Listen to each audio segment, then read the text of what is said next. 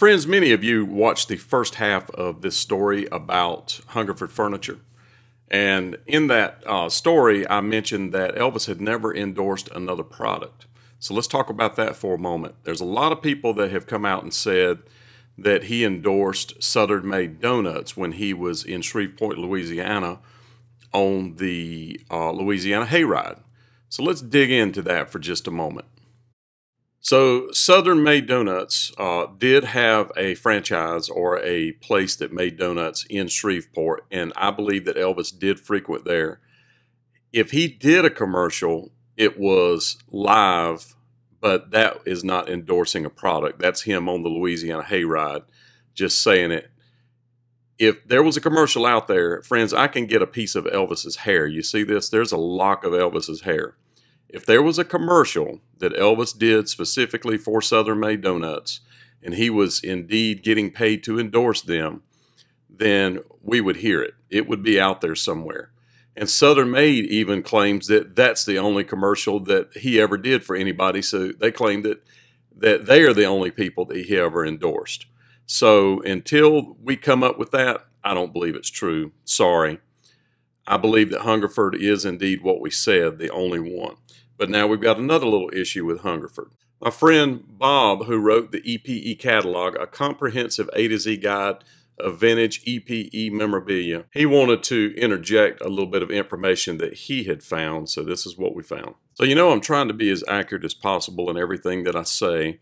And he reached out to me and said, you know, in the Elvis World book that you showed in the first video about this, in uh, other places, many books, it does say that the Elvis furniture campaign was never released.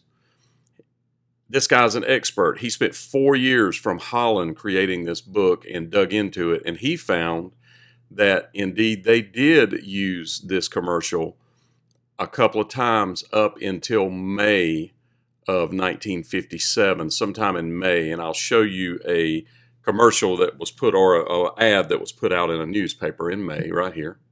And they call this the Elvis Presley Young Modern Bedroom Grouping. And it's saying that they have up to 50 correlated pieces where they put all that stuff together. And it's just interesting. The uh, the actual newspaper article earlier says that he himself actually um, chose the pieces to the furniture meaning he chose the um, the pulls, the colors, all that kind of stuff. If you go down to the third paragraph, it says that Elvis himself picked out the furniture finish, the drawer pulls, construction details, according to designer Samuel Kurkinski. The rock and roll singer chose a mellow amber walnut finish and brass hardware for the straight line, uncluttered modern furniture.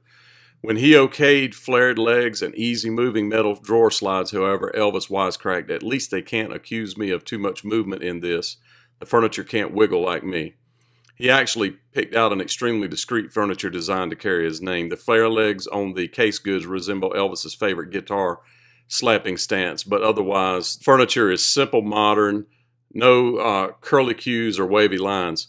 And if you're wondering how much this stuff costs, some people ask me about that. It says tables start at 39 Three-piece bedroom suite will sell for about 300 and a dining room set, including table, buffet, and six chairs, will be approximately $340. That was a lot of money, but that's probably similar to what you would spend for something now.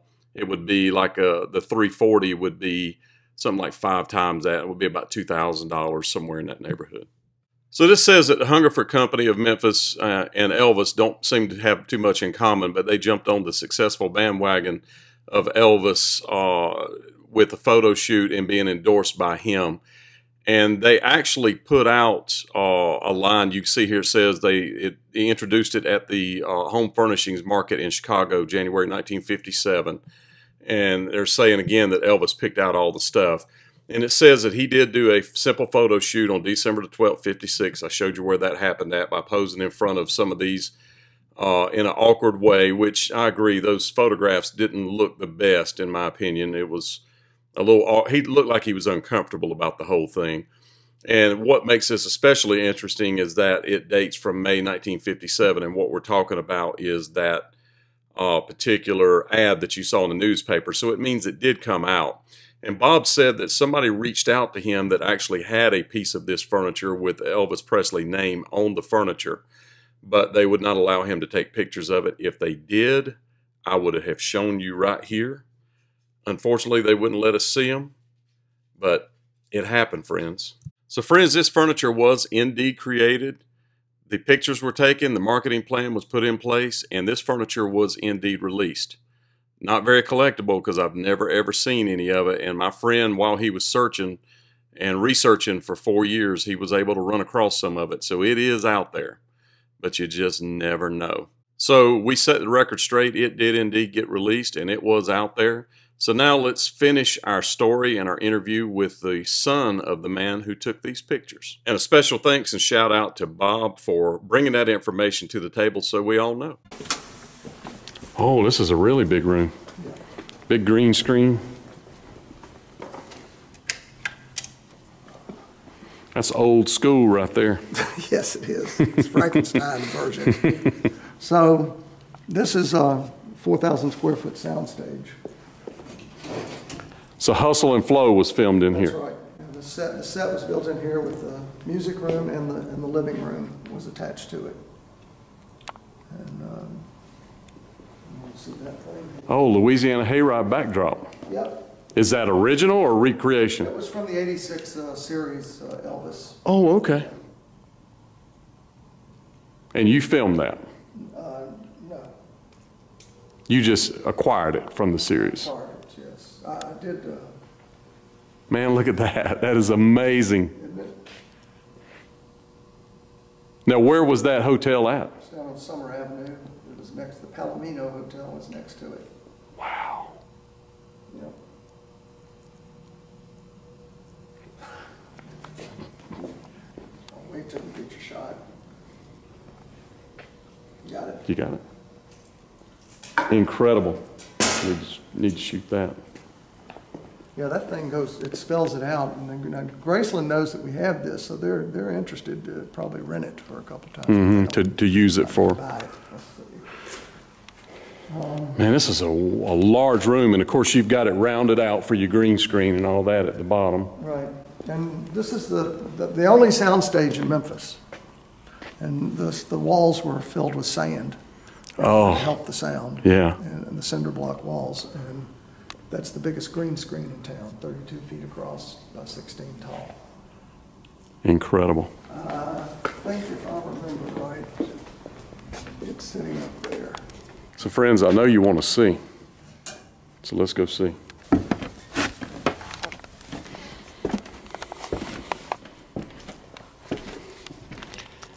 There it is, friends.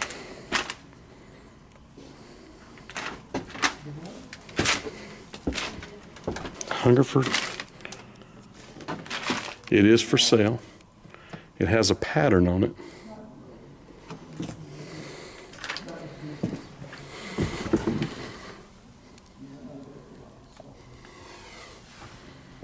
And it's kind of a, I thought it was material, but it's woven.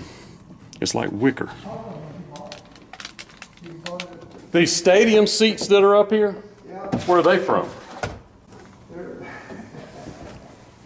I believe that there may be one or two places, either the Memphian Theater, which was where Elvis took some dates, down on uh, Cooper Street, or, uh, Playhouse on the Square. That's the same place, right? Maybe the same place. Yeah. So he believes that these chairs, friends, were from the Memphian Theater. Incredible. So this is real movie stuff, friends. They got the bags to weigh down the lights. Look at how heavy duty those lights are. That's the real thing. It's funny, all this movie equipment is so heavy duty and Yeah, well, it's, the, the, the the world, the way movies are done have been drastically changing. but you would sell that Louisiana Hayride backdrop. Yeah, I'd probably sell it if the price were right. Justin Timberlake was in here doing a, a GQ, Really, when? GQ oh, a couple years ago. And So he did a GQ shoot in here? yes, uh, and he, he wanted to buy the sign. of The RCA Victor? RCA because that's who he signed with. but uh, he didn't want to pay what I wanted. for. What are you trying to get for that? I'd asked three thousand. Yeah, well, that, I would think it would be well worth that. Vegas, So this sign right here is for sale as well. Oh, yeah. What would you take for that sign? twenty thousand. Twenty thousand. Yeah. And that would be Orlando or Vegas, most likely. They would take that to, uh, they, they have the, um, the sign museum, what's that called? The uh, Neon Museum Well, they do in Vegas? And. What would you take for the Louisiana Hayride? I don't know. I'd have to think about That's that. negotiable? Yeah. Um, But the Silver Horseshoe Motel is, it lights up on both sides. So that's, that's double sign then. It looks right. like that on both sides. That's an incredible sign. It's beautiful. Facility here is for sale, Oh, really? yeah. And someone, you know, we're looking for a production studio, this place would be perfect for them. And it's in a good place. It's right off of Elvis Presley Boulevard. Yeah, Well, I didn't realize how close to Graceland you are. 55 and 40, I Mm-hmm. the crossroads. And I would probably let a lot of the, the decoration and stuff stay with it. The equipment and everything. the Equipment, yeah. Got some big old light boxes up there. Yeah, that's, that holds 6,000 watts. So, uh, so if anybody's looking for a, a- studio that's already loaded with lights and, and has a, a hell of a history and a lot of memories, this place is it, because it is for sale. And uh, we'd love to find somebody that would keep up the tradition of using it as a motion picture soundstage and a, and a production facility. Amazing. So you carried on the tradition of your dad.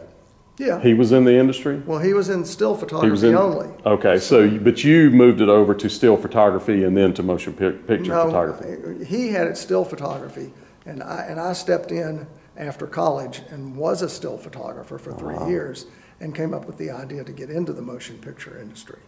And, and what happened was, is that people would say, well, what have you done? And I'd say, well, we can do it. Exactly. And uh, we ended up going over to Mountain View, Arkansas, and shot, borrowed a camera, borrowed, got some film together, outdated and all that. Shot over in Arkansas, in, in Mountain View, and ended up putting together a, a 60-second commercial for Arkansas tourism. And we entered it in the Chicago Film Festival. It won fourth place, and we had our ticket. And then you can refer to that. Yeah. This is what I've done. Showed somebody what we've done. We actually won an award for it too. Amazing. Yeah. So. So you do incredible work. We try. And you like to do positive work. Oh, yeah. That's important, and I like that. Sure, yeah, you, you want, you want somebody to remember what they see in a, in, in a, in a positive way, and, and I believe that you've got to deliver somebody the wow factor, and if you, if you got a little wow going on, then you're gonna remember it, you push that button. Amen. I like that. So, friends, he tightened up and got in the music, in the motion picture industry, and there you go. He's created some incredible stuff, and we learned some incredible stuff here. Thank you so much for watching. Don't forget to subscribe. Oh, that's where the- That Silver Horseshoe Motel was, out on Summer Avenue. Wow. So, are these buildings gone now? Oh, yeah, yeah, there's a, a, like a a hardware store. There it is, right there. That is incredible. That's an awesome sign. And you could- I'm glad you got that and it didn't go in the trash somewhere. Man. I'll be glad when I sell it. And look at Elvis at 70. Yeah, about that? That is funny. Love this uh, uh, lighting system. This is old school, but it still works. Well, Channel Five was gonna throw it away. Really? Yeah, and so I, and it, only two dimmer banks work, but I, I didn't need any fancy dimmer stuff in here, and so we've, we've got thirty-two circuits on the ceiling that are, that are geared for the, And it's just 208 volt. It's just single phase. It's not not That's right. three phase. Mm, that's right. Interesting. Yeah. As big as it is, I would have thought it'd been three phase, and No, no. but all of your lighting is just 20 208, which is industrial. Twenty-two oh eight, Yeah, there you go.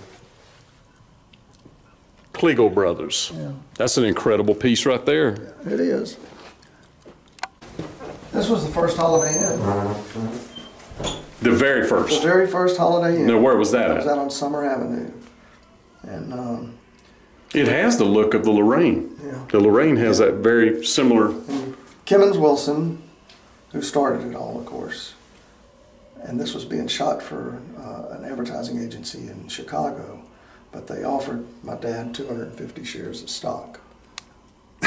Instead of getting paid, and he said no. He couldn't do it. he needed to get paid, but man, you know what that would have been? Oh, I know. Yeah. I wouldn't be standing here right now. You hear all those stories about stuff like that. It's in, incredible. Yeah. Well, it does happen. It does. It really does. And it still does. This is your dad. Yeah, there he is. And then the Did you autograph. see that other picture? And then the autograph is in here. So was this on the day that this was shot, you think? You know, I'm not Possible. sure. I don't know. It wouldn't have been because, No, he would have. It would- he'd had to develop it. Had to been processed. right. But that's a true to life Elvis autograph right there, friends, in front of the photographs his dad took. Yeah, they, I love the title they put on this, "The Lost Photo Session of 1956." And that's really what it is. It's it's very few people know that it happened. Mm-hmm. And this was the year that incredible things happened to him. He went from mediocrity mm-hmm. to huge fame in a very short period of time, and went from relatively poor to very rich, Yes, all in one year. Colonel Parker took care of that. He sure did. Sure did. He made sure. Man, thank you so much for sharing. This is this is incredible. I'm just gonna. So, friends, this kitty cat's name is Stacks. He lives in here. He actually just said Stacks. Enjoy the rest of your day. Yes, sir. You too. Thank you. If you're down in Memphis during uh, during the barbecue festival, you hit me up. Got to stop by and get some barbecue. You gonna be so it's down on the river where it happens Yeah, at. Memphis and maybe 250 teams on the river. Wow. Yeah, Very cool. incredible, Sounds good, man. Thank you so much. delicious. So, friends, Graceland is right over, right down there, and this is API, and this is the only soundstage uh, for making movies in Memphis. And so, this nice gentleman told us that story. Fantastic. I was hoping to see if they had some quality furniture pieces left over here at Hungerford, but this is all I found the irony of this being out here in front of this is pretty crazy.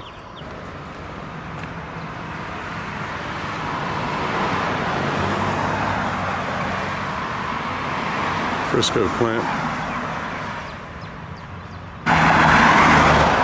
So friends, we're at Charjean Road and Frisco Avenue.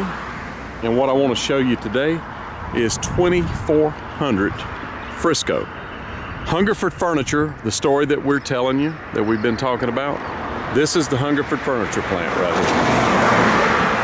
here. Memphis, Tennessee, 2400 Frisco. This is where that furniture was built at, and you see it's a huge plant. It was all the way down there. I'm gonna drive down to the other end and see if there's anything down there. And here's some good quality furniture right here. You can buy those at Walmart. Little table with three legs. And we got a little ant situation here too. And maybe some uncles, but mostly ants. So if this campaign had gone through, and of course he actually did technically endorse it, this is the only time Elvis ever endorsed a product other than his own product. So now you have another piece of the Elvis puzzle, and Bill Carrier's dad tightened up and took these pictures back in 1956 in December. Thanks so much for watching.